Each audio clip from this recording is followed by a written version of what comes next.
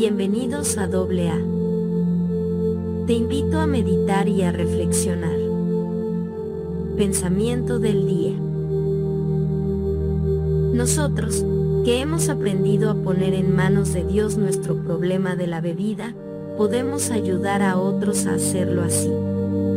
Podemos ser utilizados como una conexión entre la necesidad de un alcohólico y la previsión de fortaleza de Dios.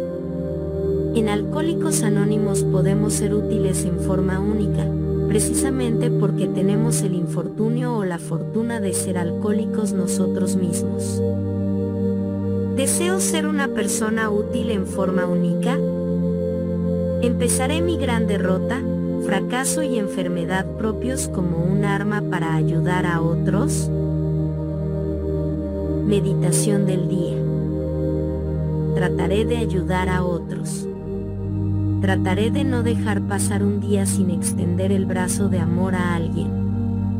Cada día trataré de hacer algo para elevar a otro ser humano del pozo de desaliento en el que él o ella hayan caído.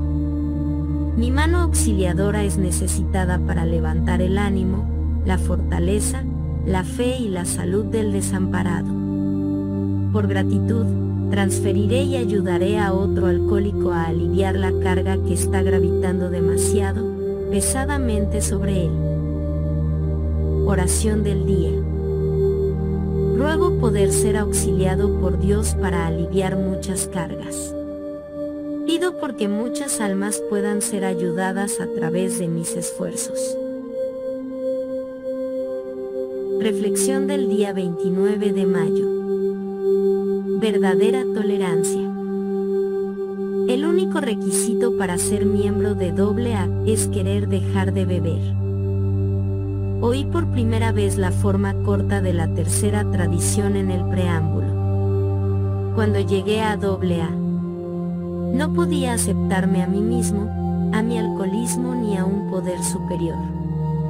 Si hubiera existido algún requisito físico, moral o religioso para ser miembro, ya estaría hoy muerto. Bill W. dijo en una charla grabada acerca de las tradiciones, que la tercera tradición es una carta de garantía para la libertad individual.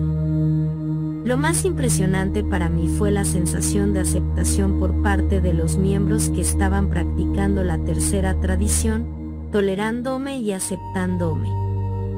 Creo que la aceptación es amor y el amor es lo que Dios tiene dispuesto para nosotros.